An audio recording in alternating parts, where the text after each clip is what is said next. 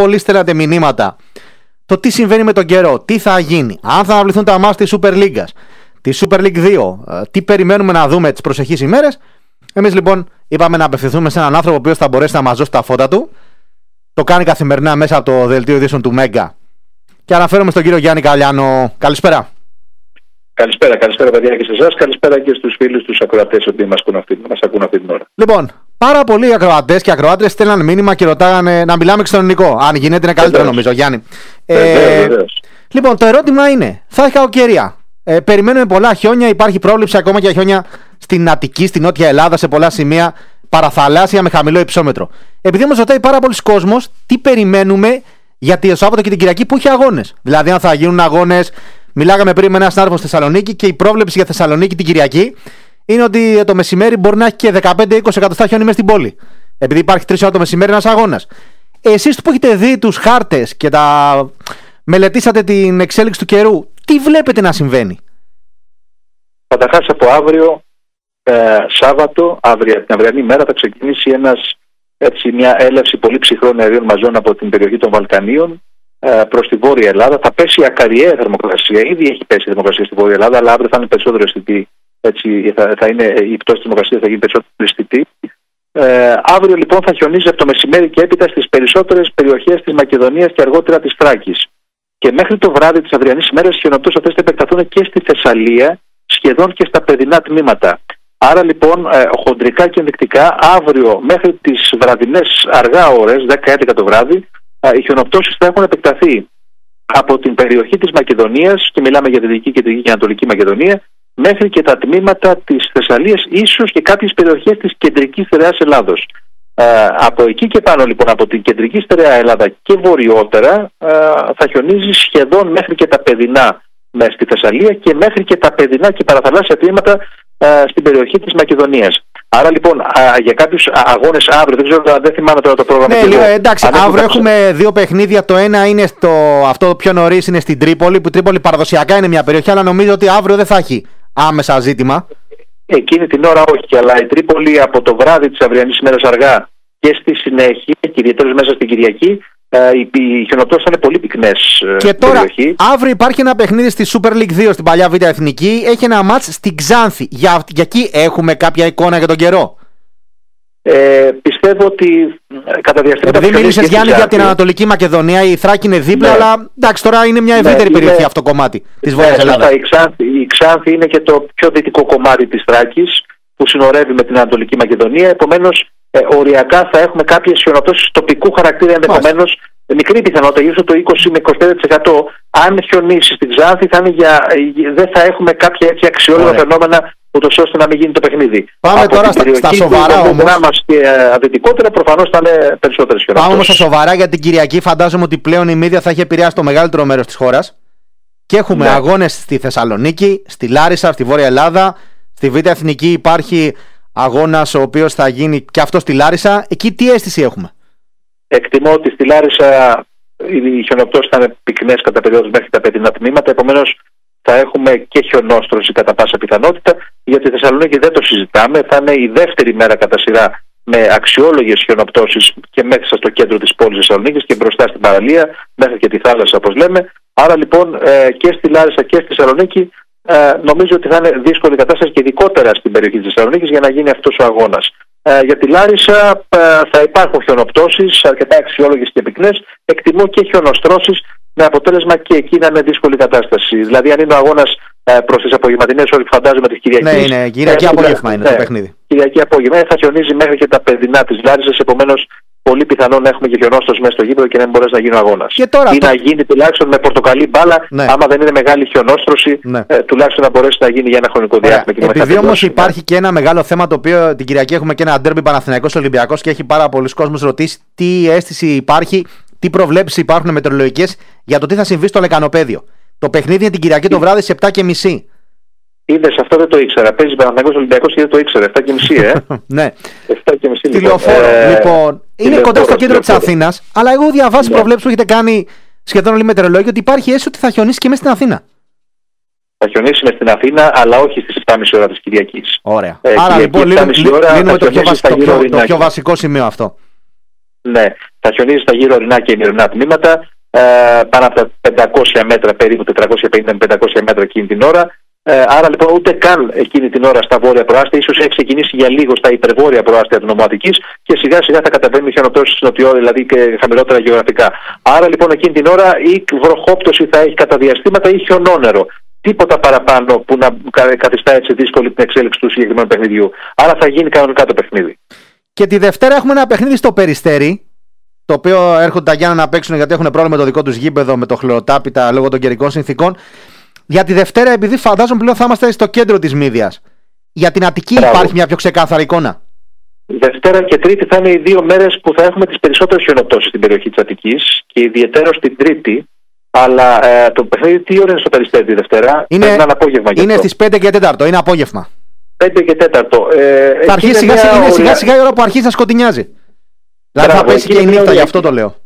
Σωστό. Εκεί είναι μια οριακή κατάσταση, γιατί κατά τη διάρκεια της Δευτέρας δεν θα έχουμε χιονοπτώσεις σε αρκετά χαμηλά υψώματα στην περιοχή της Αττικής. Ενδεχομένως ε, με εξάρσεις και υφέσεις να έχουμε και χιονόπτωση στο κέντρο της πόλης της Αθήνας.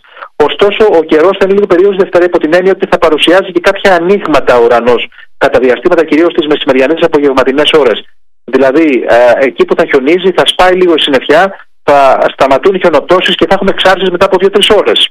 Αν είναι τυχεροί ε, αν, αν είναι τυχερός ο κόσμος θέλει να παρακολουθήσει το συγκεκριμένο παιχνίδι και πέσουμε σε χρονικό διάστημα που θα έχουμε ένα σπάσιμο της νέφωσης, ε, ε, νομίζω ότι θα γίνει. Ε, Αλλιώς υπάρχει μια πιθανότητα γύρω στο 40% ε, να έχουμε χιονότωση και κατά τη διάρκεια του παιχνιδιού.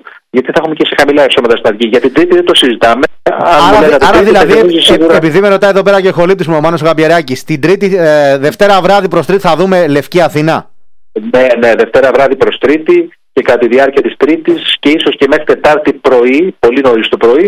Εκεί λοιπόν ε, μπαίνει στο παιχνίδι για τα καλά η Αττική με χιονοπτώσεις μέχρι και τα παιδινά τμήματα. Με πάρα πολύ χαμηλές θερμοκρασίες και πολύ αυξημένες πιθανότητες να χιονίσει μέχρι και τις παιδινέ περιοχές. Για να τολμήσω να πω μέχρι και τα παραθαλάσσια, αλλά επειδή, είναι, ε, επειδή έχει μια μορφή ρίσκου τώρα αυτό που λέω, τουλάχιστον μέχρι και τα παιδινά τμήματα θα έχουμε την ομάδα ε, χιονοπτώσει κατά τη διάρκεια της Τρίτης, μέχρι και πολύ νωρίς της Τετάρτης, ίσως και λίγο πριν ξημερώσει, μέχρι εκείνο το χρονικό διάστημα. Τώρα κάτι τελευταίο. Επειδή είναι κύμα κακοκαιρίας το οποίο θα επηρεάσει τη χώρα για αρκετές μέρες, δεν είναι ένα που θα είναι ας πούμε, για μία μέρα που έχουμε δει στο παρελθόν ή για 48 ώρες. Θα έχει διάρκεια. Ξεκινάει με τη μεγάλη πτώση θερμοκρασία και συνέχεια έχει με, με τις διαφορετικές καιρικές συνθήκες, με χιονοπτώσεις, με. Επηρεάζονται όλη η πυρωτική Ελλάδα και νομίζω και η νησιωτική θα επηρεαστεί από ό,τι καταλαβαίνω από τις προβλέψεις σας. Δεν είναι δηλαδή... και το Αιγαίο και το Αιγαίο και η Κρήτη. Στην Κρήτη θα έχουμε πολύ πυκνά χιόνια στα ορεινά και μυρινά. Θα έχουμε αποκλεισμούς χωριών, ορεινών ή μειωρινών. Θα χιονίσει και στις κυκλάδες, ακόμα και σε παιδινά τμήματα των νησιών. Ε, θα έχουμε χιονοπτώσεις αρκετές στις περισσότερες περιοχές της χώρας. Ε, άρα γενικά χρειάζεται μια ιδιαίτερη προσοχή. Θα είναι μια έτσι κακοκαιρία η οποία θα έχει διάρκεια, θα έχει ένταση κατά περιόδους, όπως για παράδειγμα αύριο στην Βόρεια Ελλάδα και την Κυριακή στην Βόρεια Ελλάδα και εν συνεχεία από την Κυριακή το βράδυ και στα υπόλοιπα νότια τμήματα της χώρας. Θα έχουμε ισχυρό παγετό. Στα βόρεια ορεινά θα φτάσει ο υδράριο μια 18 με μείον 20 βαθμούς Κελσίου. Μόλις ξαστερώσει. Δηλαδή, δηλαδή σε κάποιες περιοχές όπως την Κοζάνη, στην Τολεμαίδα παραδοσιακά και στη Φλόρ να έχουμε τόσο χαμηλές θερμοκρασίες, θα πάμε τόσο χαμηλά. Κοζάνη, Τολεμα... βεβαίως Κοζάνη, Γρεβενά, Τολεμαίδα, Φλόρινα, Καστοριά, όλες αυτές τις περιοχές. Κάπου την άλλη μεριά στην Ανατολική Μακεδονία ε, τον Ευρωκόπη, περιοχές ορεινές της Κεντρικής Μακεδονίας, ορεινά τμήματα της Στερεάς Ελλάδας όπως η Βρετανία, αργότερα μόλις περάσουν χειροπτώσει προς την Τρίτη εκεί σε αυτές τις περιοχές, στην ορεινή Θεσσαλία, ε, θα έχουμε γενικότερα στην Ήπειρο, την ορεινή βεβαίω, θα έχουμε θερμοκρασίες κοντά στους μείον 12, μείον 15 και τοπικά ακόμα και μείον 20 στη Δυτική Μακεδονία και στη ορεινά της Ανατολικής Μακεδονίας. Άρα μιλάμε για ένα πολύ ισχυρό παγετό, ο οποίος πραγματικά μετά τις χιονοπτώσεις θα παγώσει το χιόνι, το ήδη φρέσκο χιόνι που θα έχει πέσει θα το παγώσει και θα έχουμε προβλήματα ενδεχομένως στις μετακινήσεις. Χρειάζεται ιδιαίτερη προσοχή στις μετακινήσεις σε αυτές τις περιοχές, πραγματικά. Και κάτι τελευταίο, επειδή όπως είπαμε, Γιάννη είναι ένα κύμα κακοκαιρίας το οποίο δεν θα κρατήσει λίγο, είναι, έχει διάρκεια μεγάλη. Μέχρι πότε θα έχουμε φαινόμενα αρκετά ισχυρά, έντονα καιρικά φαινόμενα από την, ε, από την επέλαση της μύδιας, αν, αν θα πρέπει να βάλω τη λέξη επέλαση; Ναι. Στην κεντρική και στη βόρεια Ελλάδα θα έχουμε Σάββατο και Κυριακή, αύριο και μεθαύριο. Ναι. Ε, από το βράδυ της Κυριακής μέχρι και Τρίτη αργά το βράδυ, το πολύ ξημέρωμα της Τετάρτης, ε, πολύ πρωινές, στις πολύ πρωινές ώρες Τετάρτης θα χιονίζεις στα ανατολικά προσύνεμα όπως λέμε στη μετεωρολογία, δηλαδή από το Πήλιο και νοτιότερα. Ε, στο Πήλιο, την Εύβοια, τις Ποράδες, την Ανατολική Στερεά συμπεριλαμβανομένη της Αττικής και τις Βιωτίες δηλαδή, Κυκλάδες και Κρήτη. Σε αυτές τις περιοχές, σε αυτές τις περιοχές που θα εντοπίζονται οι, οι χιονοπτώσεις. Ενώ την ίδια ώρα στα δυτικά και στα βόρεια ο καιρός θα είναι πολύ βελτιωμένος, θα έχει ήλιο με δόντια, ήλιο με μείον 8 βαθμούς Κελσίου, ναι. ήλιο με μείον 10 στα ορεινά. Ε, Αυτές οι χιονοπτώσεις λοιπόν στις πιο ανατολικές περιοχές της χώρας που εντοπίζονται από την ε, Δευτέρα και στη συνέχεια θα σταματήσουν την Τετάρτη το πρωί. Πολύ νωρίς το πρωί. σω την Πέμπτη επιμείνουν κάποιες χιονοπτώσεις στην περιοχή της Κρήτης, αλλά και εκεί το κύμα αυτό θα μας ε, αποχαιρετήσει. Πάντως πρέπει να σας πω ότι παρουσιάζει πολύ ιδιαίτερο ενδιαφέρον η εξέλιξη του καιρού, διότι από την, ε, ε, μετά το πέρας της κακοκαιρίας αυτής, που φαίνεται ότι σιγά σιγά θα αρχίσει να τραβάλει ελαφρώς την ανηφόρο υδράληση από την Πέμπτη, υπάρχει μια πιθανότητα γύρω στο 30 με 35% για έλευση ψύχους πάλι το παραεπόμενο Σαββατοκύριακο, δηλαδή μετά από μια 9 με 10 μέρες. Αντίστοιχη, ε, αντίστοιχη το, κατάσταση. Δηλαδή να ξαναπεράσουμε ε, μετά από 10 μέρε. Όχι αντίστοιχη, λίγο πιο γρήγορο πέρασμα, αλλά. Αλλά με δηλαδή πολύ χαμηλές καιρικές θερμοκρασίες. Με, με πολύ κάποια... χαμηλές θερμοκρασίες, ναι. Μάλιστα. Ακόμα δεν έχει ξεκαθαρίσει βέβαια αν θα έρθει, να σα πω την αλήθεια, γιατί είναι πολλές μέρες μπροστά μας. Ε, έχει να κάνει με τη διάδεξη των βαρομετρικών συστημάτων που μπορεί ε, πολλές φορές να αλλάζουν αυτά τα συστήματα και να πηγαίνουν προς άλλες περιοχέ, προς την περιοχή της Τουρκίας ή προς την περιοχή της Ιταλίας και να μην βρουν την Ελλάδα ή να έρθουν πολύ πιο εξασθενημένα. Ωστόσο, φαίνεται σαν τάση του καιρού ότι ο Φλεβάρης ακόμα δεν έχει πει την τελευταία του λέξη. Θα την πει την πρώτη τελευταία τώρα και ίσως την τελευταία μετά από λίγες μέρες, αν έρθει τελικά αυτό το κύμα ψύχου στο δεύτερο που φαίνεται κατά σειρά. Βεβαίως, κρατώ σε ένα μεγάλο ερωτηματικό αυτή η πρόγνωση, γιατί μπορεί τελικά να μην έρθει και να είναι αυτή η τελευταία κακοκαιρία ισχυρή του χειμώνα. Θα το δούμε βέβαια για τις επόμενες ημέρε. Και νομίζω το πιο ορθό είναι αυτό που λέτε σήμερα μετρολόγοι, ότι δεν μπορεί να κάνετε μακροχρόνιες προβλέψεις, γιατί ε, τα βαρομετρικά συστήματα αλλάζουν ανά πάσα στιγμή και θα ήταν λανθασμένο και το έχετε πει πολλές φορές να δίνετε προβλέψεις για 10-15 μέρες ε, μακριά, όταν ο καιρός μεταβάλλεται από στιγμή στη στιγμή. Ασφαλώς. Και εγώ πολλές φορές ε, ε, χαμογελάω ακούγοντας, βλέποντας ή διαβάζοντας προγνώσεις. Για παράδειγμα, είμαστε το μήνα Αύγουστο μες στα μπάνια μας και βλέπεις κάποιες προγνώσεις στο διαδίκτυο, κάποιες, ε, κάποια κείμενα, κάποια άρθρα ότι ε, Ευρωπαίοι ας πούμε επιστήμονες ή Αμερικάνοι, Αμερικανοί επιστήμονες είπαν ότι έρχεται ο πιο ισχυρός χειμώνας των τελευταίων 50 ετών ή είμαστε μέσα στην καρδιά του χειμώνα και μόλις πλησιάζουμε προς την άνοιξη βλέπεις κάποια άρθρα, κάποια επιστημονικά άρθρα για παράδειγμα επιστημονικά τώρα σε εισαγωγικά, που λένε ότι έρχεται ε, το πιο δύσκολο, το πιο ζεστό καλοκαίρι των τελευταίων 150 ετών. Ε, αυτά τα πράγματα τα, τα βλέπω και χαμογελάω, γιατί ο καιρός είναι ένα χαοτικό φαινόμενο, ένας δυναμικός οργανισμός, ένας ζωντανός οργανισμός, που μετά από τις 6-7, το πολύ 8 μέρες, δεν μπορείς να δεις τίποτα άλλο πέρα από μια τάση του καιρού. Είδατε, εγώ σας είπα τώρα και μετά από 8-9 μέρες, δεν ξέρουμε σίγουρα αν θα έρθει αυτό το κύμα ψύχους που φαίνεται. Φαίνεται σαν τάση, αλλά δεν είναι σίγουρο. Θα το ξεκαθαρίσει μετά από 4-5 μέρες, 3-4 μέρες. Φανταστείτε τώρα κάποιος που κάνει πρόγνωση μακροπρόθεσμη, μέσω μακροπρόθεσμη για μετά από 4 μήνες ή 5 μήνες, αν θα είναι δύσκολο το καλοκαίρι ή ελαφρύς ο χειμώνας κτλ.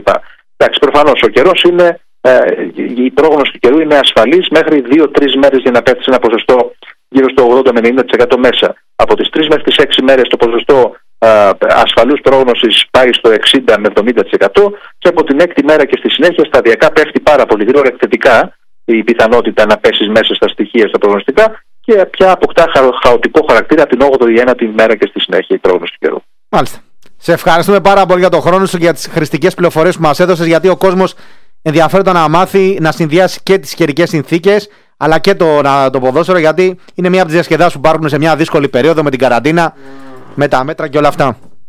Να σε καλά, να σε καλά παιδιά, καλή συνέχεια, καλή δύναμη και την αγάπη μου στους φίλους τους ακροατές.